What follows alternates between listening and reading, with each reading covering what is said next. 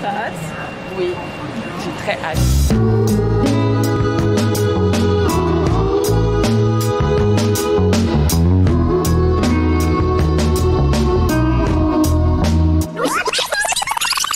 Et là, tu vois, j'en ai trouvé un à 19h30. Ça me fait arriver à 21h30 à Pardieu ou Perra, je verrai.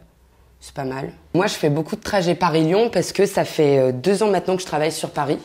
Et ça fait un an que j'ai rencontré mon, mon copain qui était sur Lyon. Moi, j'utilise Trendline depuis un petit moment. Pourquoi? Parce que il y a plein de trains dispo, que ce soit genre euh, bah, mes allers-retours, moi principaux, c'est Paris-Lyon. Mais il y a aussi euh, en Europe, ce qui est assez pratique, il y a le Thalys, enfin il y a toutes les compagnies qui sont rassemblées en une. J'ai l'application sur mon tel, les billets sont directement chargés et ça me permet de dégager au moins une zone de stress quand je dois rentrer, euh, trouver des trains, etc.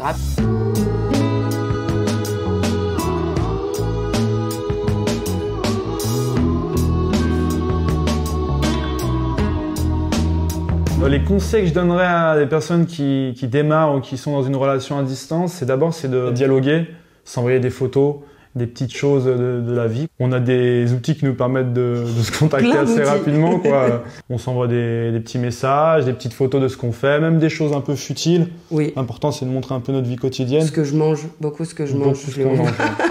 Beaucoup de nourriture. ouais. Beaucoup de nourriture. Ouais. S'appeler de temps en temps Ouais. ou s'envoyer des vocales juste histoire de pas avoir que, que du texte et de, des choses pas vraiment euh, personnifiées. J'aime bien quand Aurélia a fait une bêtise et elle m'envoie une petite vidéo. Oh Joe, j'ai fait une bêtise, regarde ce que j'ai fait, mon coloc va me tuer. Les points positifs d'une relation à distance, je pense que c'est on, on a du temps pour soi. C'est le fait de se dire que bah, sur un temps dans la semaine, c'est vraiment du temps pour nous. C'est juste que ça nous permet de garder euh, de l'indépendance et de l'autonomie chacun de notre côté.